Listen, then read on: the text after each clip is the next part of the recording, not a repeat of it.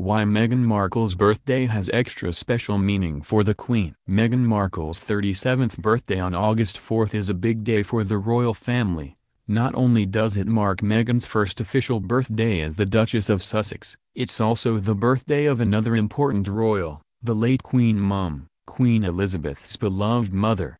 The Queen Mum, born Elizabeth Angela Marguerite Bowes-Lyon on August 4, 1900, was an important member of the royal family. One of nine children, she was intelligent and well-educated, and spoke French fluently by age 10 after receiving homeschooling lessons, according to the royal family's official website. She met her husband, then Prince Albert, in her late teens and they married in 1923. The couple's first daughter, Princess Elizabeth was born in 1926, and their second, Princess Margaret, in 1930, the Queen Mum and her husband unexpectedly claimed the throne, following the abdication of Prince Edward over his marriage to American divorcee Wallis Simpson, in 1937, and she immediately made it the central duty of her and her family.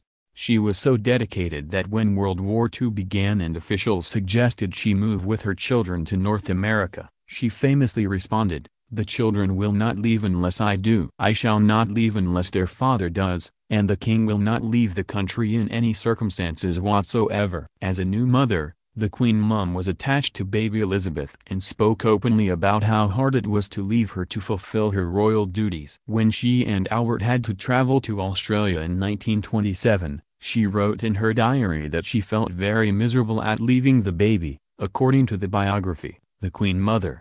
When her husband died in 1952, many thought the Queen Mum would become a recluse since she was so devoted to her husband, but she stayed active because of her obligations to her family and the people. She was also especially close with her grandson Prince Charles. The Queen Mum also cared deeply about her great-grandchildren. According to The Guardian, she placed £19 million in trusts for them to be passed on after she died in March 2002. She left the bulk of her estate, between £50 and £70 million to Queen Elizabeth. Princess Margaret died less than two months before her mother. The Queen Mum's primary legacy is that she was one of the most popular members of the monarchy, according to Ipsos, and probably played a big role in how beloved the family is today.